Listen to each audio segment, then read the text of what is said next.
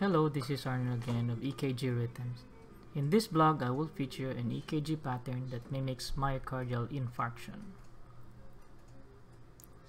A patient came with, with history of chronic kidney disease due to pleuritic chest pain for two days. There were no fever and chills. Vital signs were stable, and oxygen saturation was at 99% with room air. Is this patient having an acute myocardial infarction?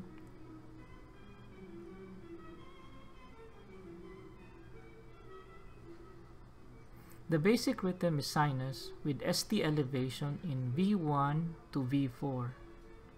Peak T waves in V3 and V4 are seen.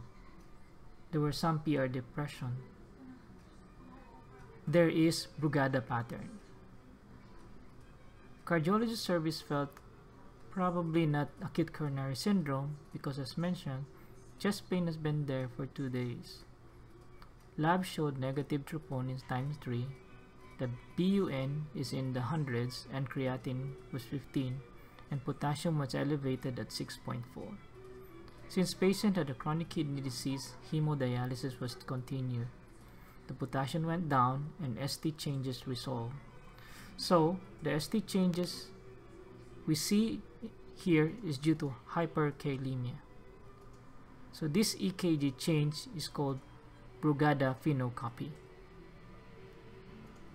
Thank you and have a good day.